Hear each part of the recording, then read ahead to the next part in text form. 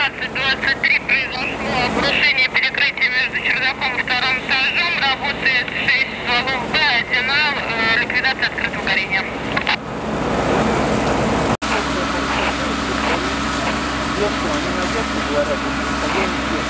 Я ему говорю, возьми, Кира, просто его